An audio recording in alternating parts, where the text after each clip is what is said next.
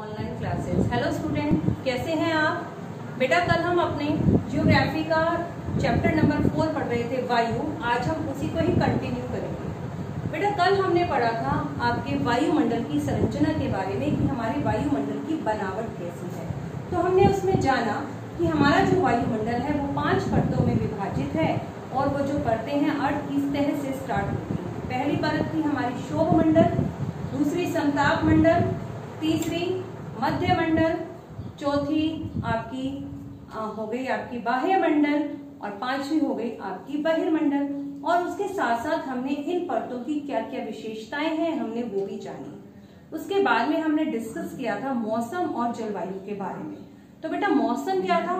दिन प्रतिदिन और प्रति घंटे जो मौसम में बदलाव होते हैं हमारे वायुमंडल में जो बदलाव होता है दिन प्रतिदिन प्रति घंटे जो हमारे वायुमंडल की स्थिति चेंज होती है उसे हम मौसम कहते हैं। लेकिन एक जगह पर यदि किसी लंबे समय में, एक दीर्घ अवधि के अंदर यदि वहाँ पर उसकी टोटल मौसम का एवरेज यानी औसत निकाला जाए तो वो आपका जलवायु कहलाता है। आज बेटा हम बात करेंगे तापमान की। कि तापमान तापमान यानी कि आपका टेम्परेचर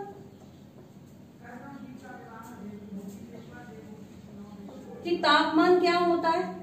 तापमान क्या है बेटा आपका? वायु में ताप व शीतलता का परिमाण जो है तापमान कहलाता है। मीन्स हमारी वायु कितनी ठंडी है, हमारी वायु कितनी गर्म है, उसका जो परिमाण है वो हमारा तापमान कहलाता है।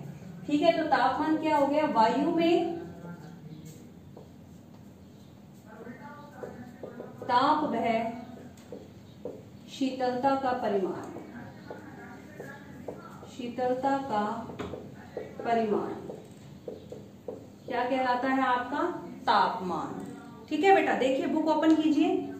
आप प्रतिदिन जिस तापमान का अनुभव करते हैं, वह वायुमंडल का तापमान होता है। क्योंकि जो तापमान हम महसूस कर रहे हैं, वो हमारे एटमोस्फेयर का तापमान ही है। वायु में मौजूद ताप में शीतलता के परिमाण को तापमान कहते हैं कि हमारी वायु में कितना ताप है, वायु कितनी गर्म है या वायु कितनी ठंडी है उसका जो परिमाण है वही तापमान कहलाता है। वायुमंडल का तापमान केवल दिन और रात में ही नहीं बदलता, बल्कि ऋतुओं के अनुसार भी बदलता है।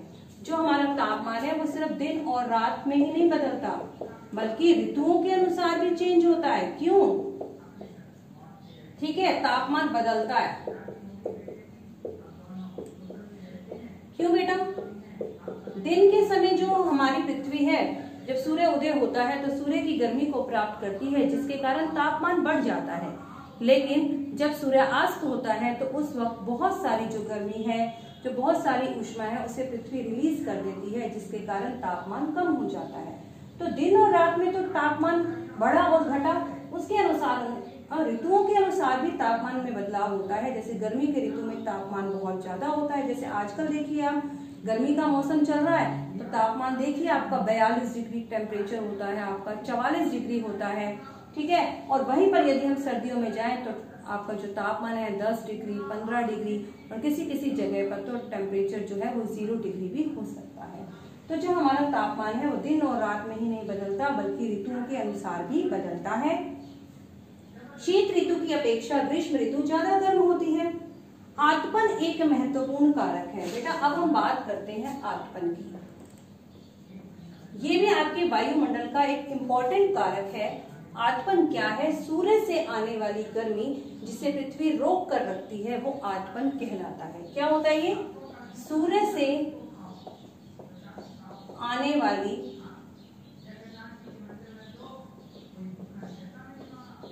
गर्मी जिसे पृथ्वी रोक कर रखती है। क्या कहलाता है? आतपन देखिए बुक में आतपन एक महत्वपूर्ण कारक है जो तापमान के वितरण को प्रभावित करता है। सूर्य से आने वाली वह ऊर्जा जिसे पृथ्वी रोक लेती है, वो आतपन कहलाती है। हमने लिखा भी यहाँ पर आतपन की मात्रा भूमध्य रेखा से ध्रुवों की तरफ़ घटती है। और इसलिए तापमान भी उसी प्रकार घटता है। बेटे, देखिए, जैसे अभी हमने यहाँ बना दी है हमारी पृथ्वी, ठीक है, ये हमारी पृथ्वी हो गई। और पृथ्वी को दो बराबर भागों में बांट रहे हैं, आपकी भूमध्य रेखा। अब जो भूमध्य रेखा पर आतपन की मात्रा सबसे ज़्यादा होती है, क्योंकि यहाँ पर सूर्य की किरणें सीधी पड़ती हैं वर्ष भर ठीक है, सूर्य की किरणें सीधी पड़ी मतलब इस क्षेत्र ने सूर्य की ज़्यादा गर्मी को प्राप्त किया तो यहाँ पर आतपन ज़्यादा हुआ और आतपन ज़्यादा होने के कारण यहाँ पर तापमान भी ज़्यादा हुआ। लेकिन जैसे जैसे हम ध्रुवों से, हम भूमध्य रेखा से ध्रुवों की तरफ़ गए, ये हो गया आपका उत्तर ध्रुव और ये हो गया आपका दक्षिण ध्रुव। जैसे जैसे हम पोल की तरफ़ जाते हैं, सूर्य की किरणें तिरछी पड़ती चली जाती है। कैसी पड़ती है? तिरछी। और तिरछी पड़ने के कारण क्या होता है यहाँ पर? जब सूर्य की किरणें तिरछी पड़ेगी मीन्स धरती सूर्य की कम मात्रा में हीट को रिसीव करेगी और जिस कारण वहाँ पर जो टेम्परेचर है, जो तापमान है, वो कम होगा और उसके साथ साथ वहाँ पर आठपन की मात्रा भी कम होगी। तो यही पढ़ा हमने। आठपन की मात्रा भूमध्य रेखा से ध्रुवों की ओर घटती है, इसीलिए तापमान भी उसी प्रकार घटता है। क्या आप जानते हैं क्या आप समझ गए होंगे कि ध्रुव बर्फ़ से क्यों ढके हुए हैं? ये जो हमारे ध्रुव है, यहाँ बर्फ़ होती है। बर्फ़ क्यों है? क्योंकि यहाँ पर सूर्य की किरणें ना के बराबर होती हैं और यहाँ इतनी सर्दी हो जाती है कि चारों तरफ़ बर्फ़ ही बर्फ़ होती है। यदि पृथ्वी का तापमान अत्यधिक बढ़ जाता है तो यह इतनी गर्म हो जाएगी कि यहाँ कुछ फ़सलें नहीं उग पाएँगी। कह रहे यदि तापमान बढ़ेगा तो कुछ फ़सलें नहीं उग पाएँगी, क्योंकि बेटा, हर फ़सलों को अलग अलग प्रकार के तापमान की ज़रूरत होती है। हर फ़सलों को बढ़ने के लिए अलग अलग प्रकार का तापमान चाहिए। कुछ फ़सलें ज़्यादा तापमान में ग्रो करती हैं तो कुछ फ़सलें कम तापमान में ग्रो करती हैं। अब गर्मी के मौसम में हम कुछ और फ़सलों को उगाते हैं और सर्दी के मौसम में हम कुछ और फ़सलों को उगाते हैं। तो जैसे जैसे तापमान बढ़ेगा तो जो फ़सलें हैं, जो कम, जिन्हें कम तापमान चाहिए, वो ग्रो नहीं कर पाएँगे। गाँव की अपेक्षा नगरों का तापमान अधिक होता है। दिन के समय ऐसा पेड़ से बनी सड़कें एवं धातु और कंक्रीट से बने भवन गर्म हो जाते हैं।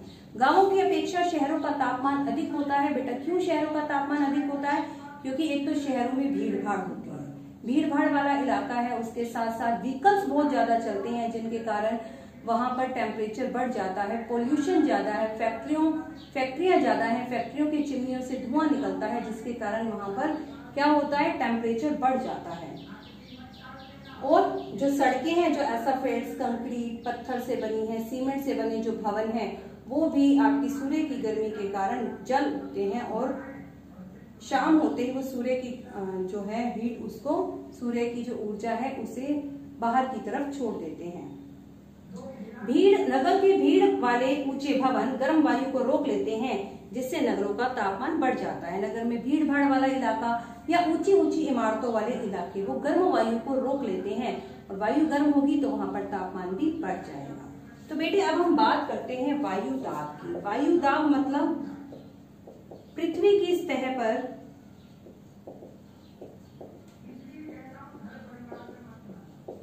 वायु द्वारा लगाया गया दाब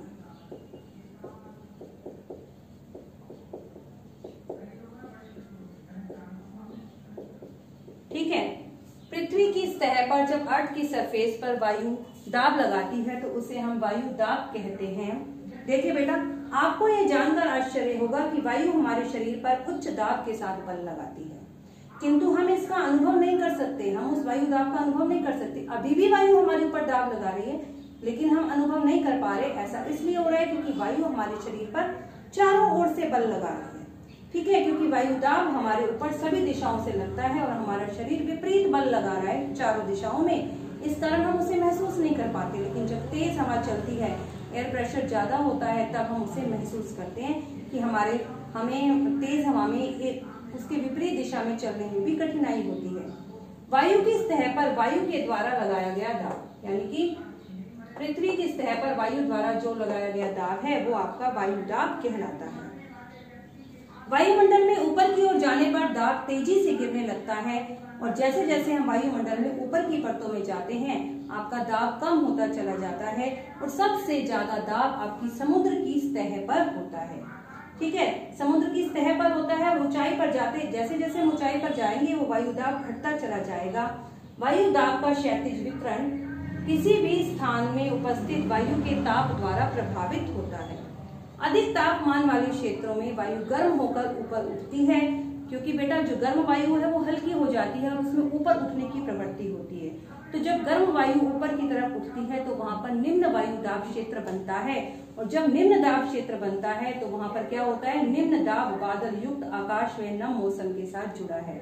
मतलब जहाँ पर निम्न दाब बनता है, वहाँ पर बादल छाते हैं और मौसम में नमी होती है। कम तापमान वाले क्षेत्रों में वायु ठंडी होती है और इसके फलस्वरूप वह भारी होती है, जहाँ पे तापमान कम होता है, वायु ठंडी होती है और ठंडी होने के कारण वायु भारी हो जाती है और भारी वायु में नीचे रहने की ही प्रवृत्ति होती है और वो वहाँ पर उच्च दाब क्षेत्र बनाती है। कौन सा दाब क्षेत्र बनाती है बेटा? उच्च दाब क्षेत्र बनाती है और उच्च दाब के कारण वहाँ पर स्पष्ट और साफ़ आकाश होता है, मीन्स वहाँ पर धूप खिलती है, बादल नहीं होते। वायु सदैव उच्च दाब क्षेत्र से निम्न दाब क्षेत्र की तरफ़ ही गमन करती है। जो वायु है, किधर चलती है वो हमेशा उच्च दाब से निम्न दाब की। ठीक है बेटा, आज हमने तापमान के बारे में जाना। तापमान हमने जाना कि वायु में ताप व शीतलता का परिमाण तापमान कहलाता है। फिर हमने आटपन के बारे में जाना कि सूर्य से आने वाली गर्मी या ऊर्जा जिसे पृथ्वी रोक कर रखती है, वो आटपन होता है। जो आपका तापमान है वो दिन और रात के साथ साथ ऋतुओं के अनुसार भी बदलता है। और हमने जाना कि जो भूमध्य रेखा से जैसे जैसे हम ध्रुव पर जाते हैं आटपन की मात्रा कम होती चली जाती है और तापमान भी कम होता है, क्योंकि भूमध्य रेखा पर सूर्य की किरणें सीधी पड़ती हैं और जैसे जैसे हम ध्रुवों की तरफ़ जाते हैं, सूर्य की किरणें तिरछी होती चली जाती हैं। फिर हमने वायु दाब के बारे में पढ़ा कि पृथ्वी की सतह पर जब वायु दाब लगाती है तो वो वायु दाब कहलाता है। ठीक है? और वायु दाब जो है हमेशा, जो वायु जो है हमेशा उच्च दाब से निम्न दाब क्षेत्र की तरफ़ ही गमन करती है। ठीक है बेटा? इसके आगे हम कल पढ़ेंगे ओके?